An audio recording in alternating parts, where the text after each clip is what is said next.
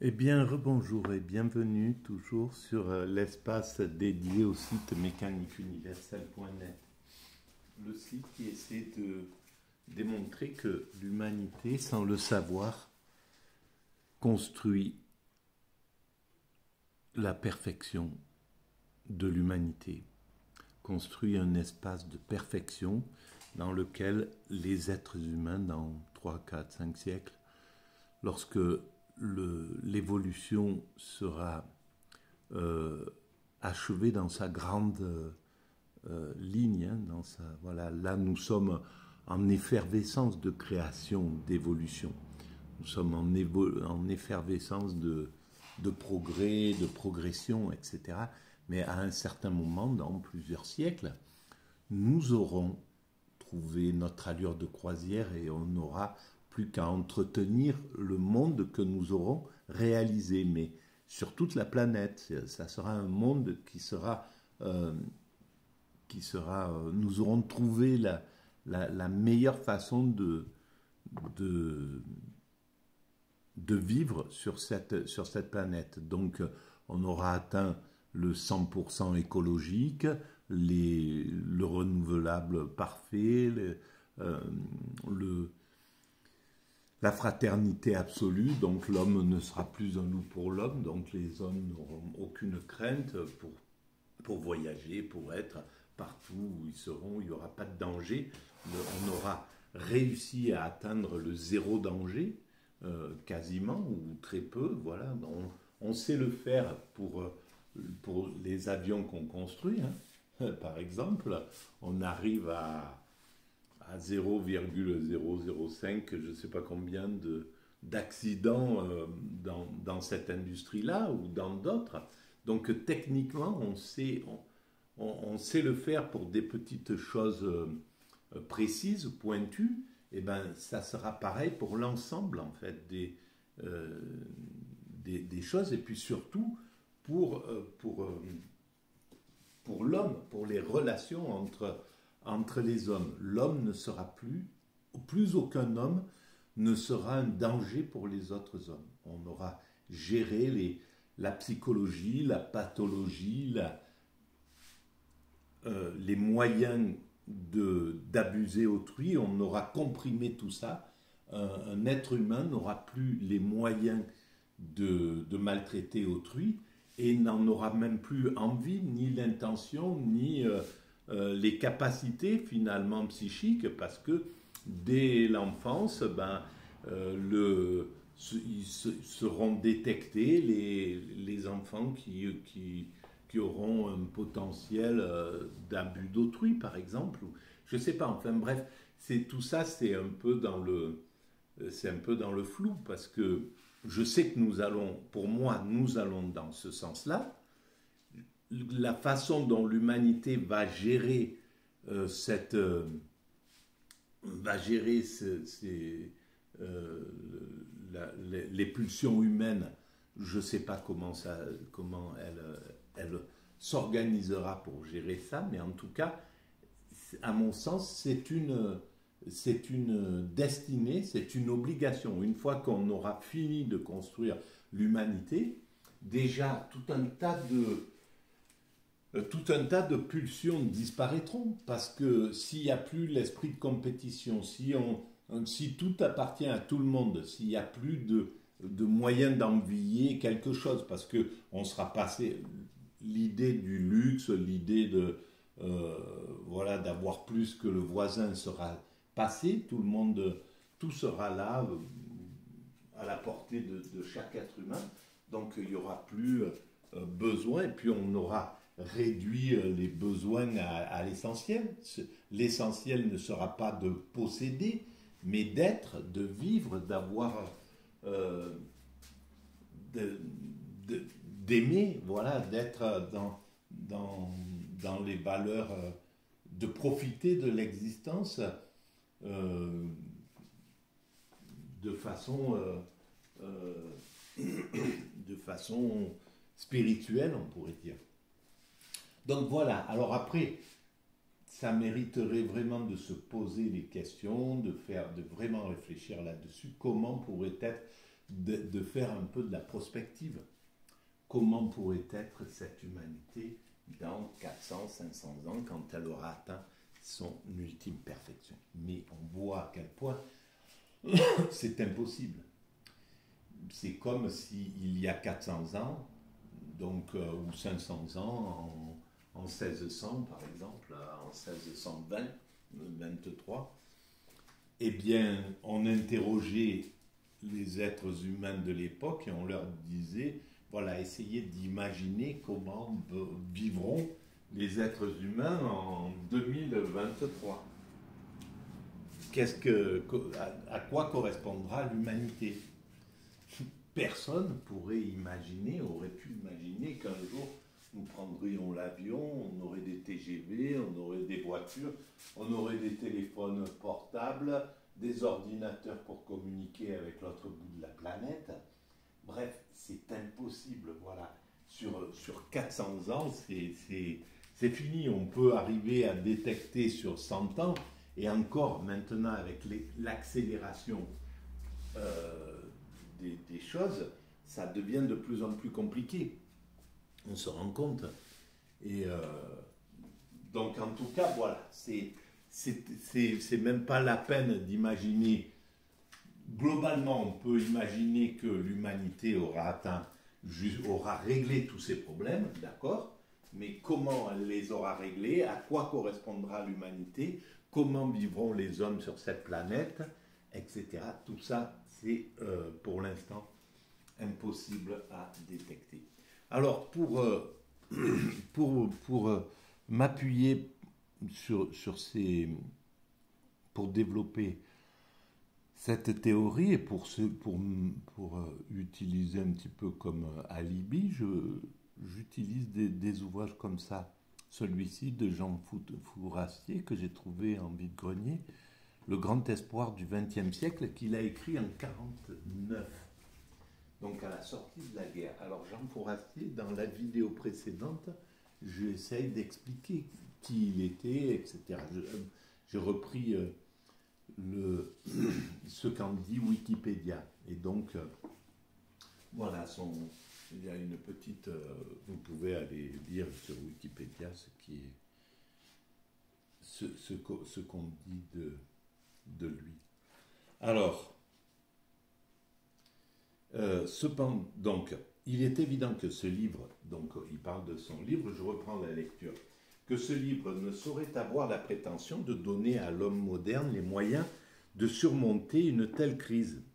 je parlais de la crise entre euh, le, passage entre le religieux, entre les règles religieuses qui tiennent les hommes aux règles laïques qui sont là pour, euh, pour remplacer le religieux et, maîtriser les débordements de l'être humain, euh, que, qui étaient avant maîtrisés par le religieux.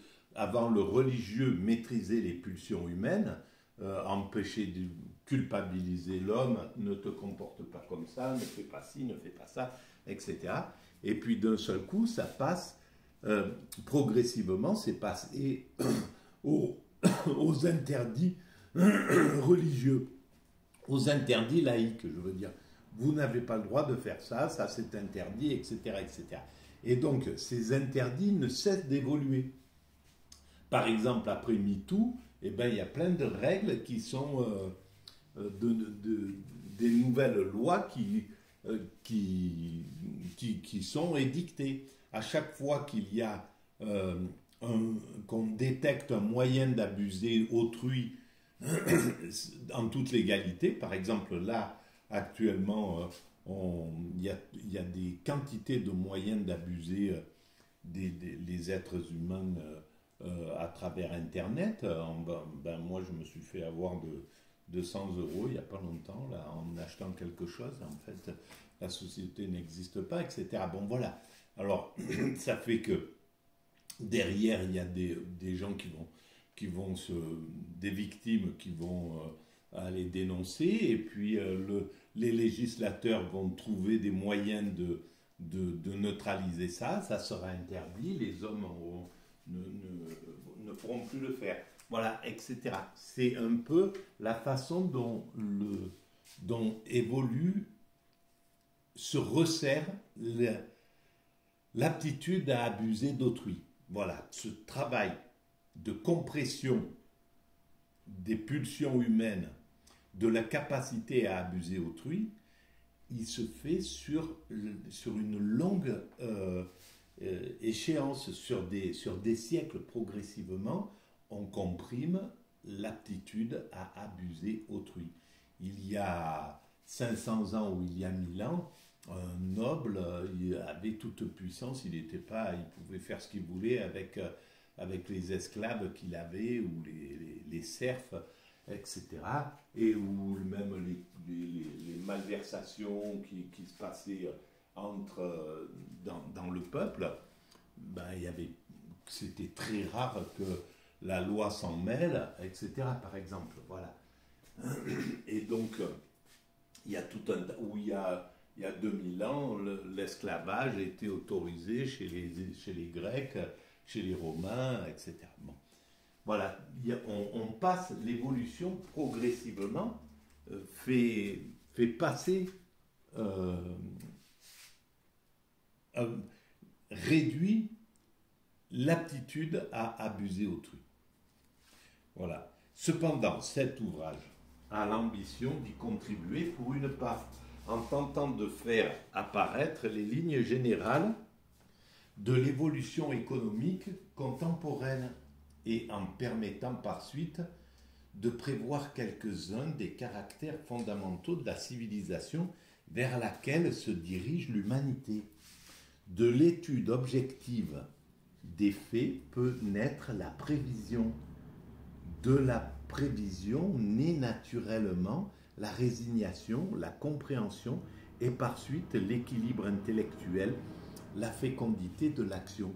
Alors ce qui est curieux, c'est que Jean Fourastier, ben, euh, il, est, il, est dans une téléologie, une recherche, une réflexion sur l'étude des fins dernières de l'humanité. À quoi sert euh, l'humanité? Où va l'humanité? Quel est son sens? Je continue. C'est le résultat de sept années d'études que je présente aujourd'hui au grand public. On verra qu'elles n'ont rien de théorique au mauvais et trop usuel sens de ce mot.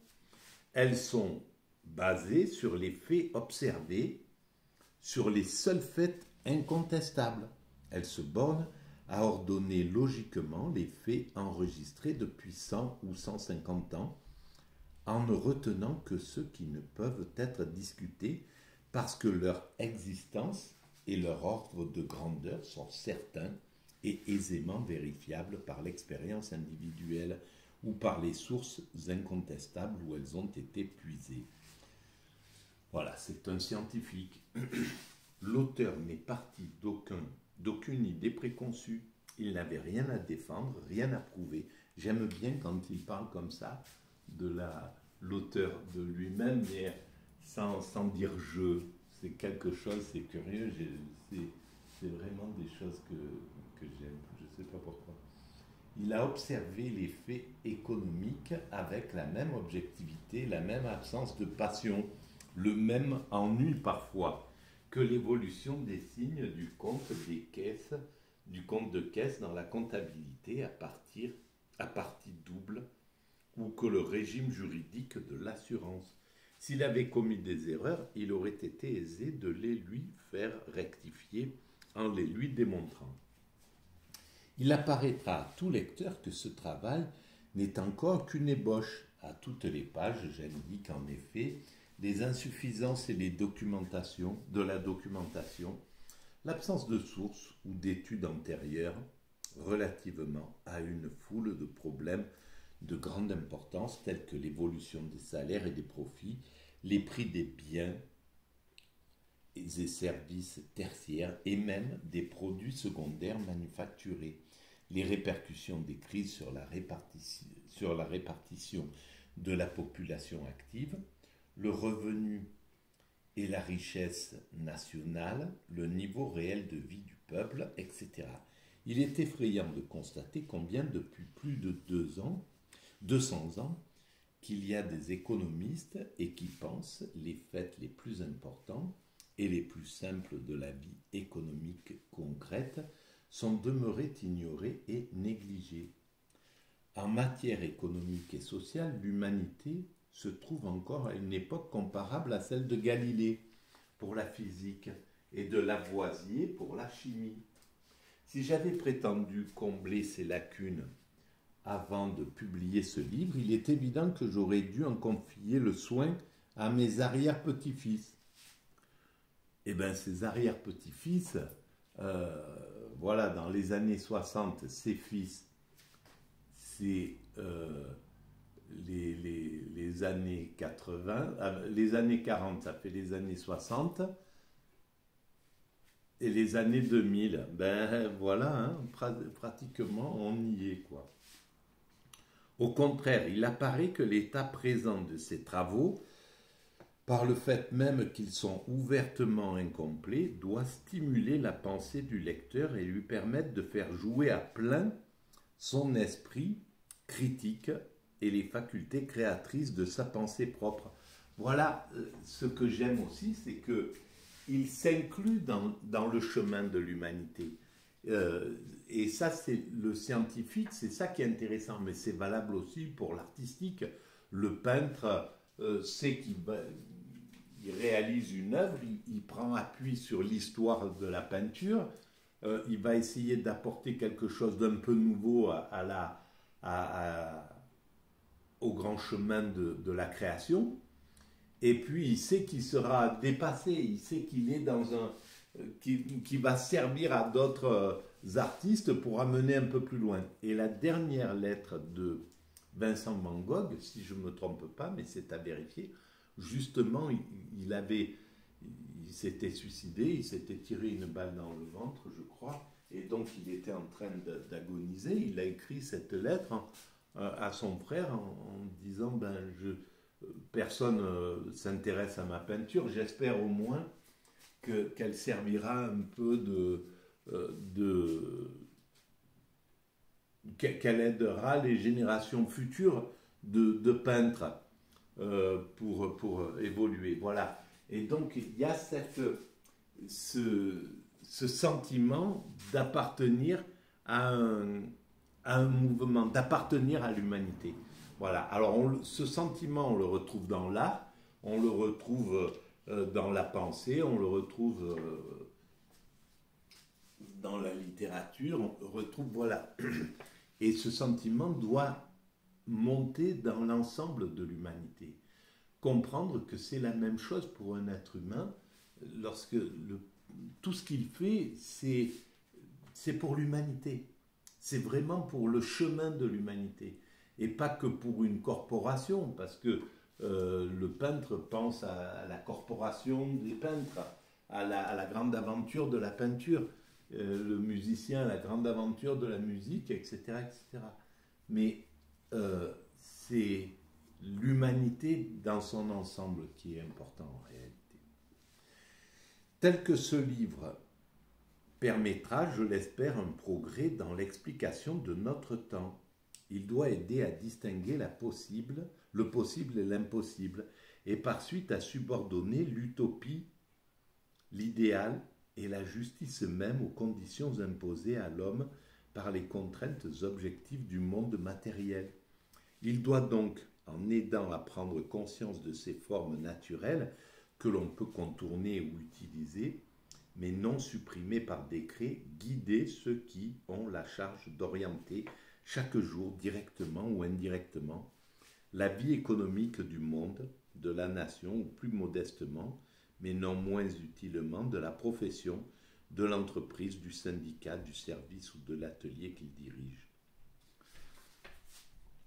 On parle de progrès technique un peu partout, écrit-il ensuite, en sociologie, en philosophie, en morale et en économie.